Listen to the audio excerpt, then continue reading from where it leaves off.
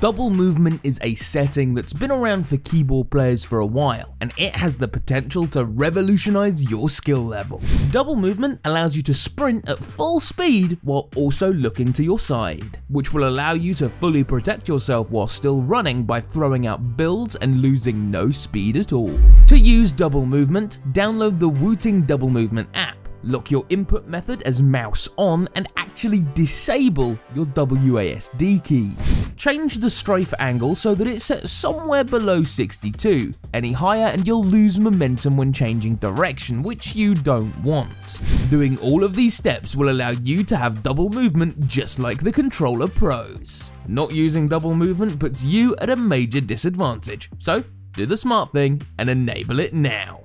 Also do the smart thing and like this video before subscribing to the Pro Guides Fortnite channel.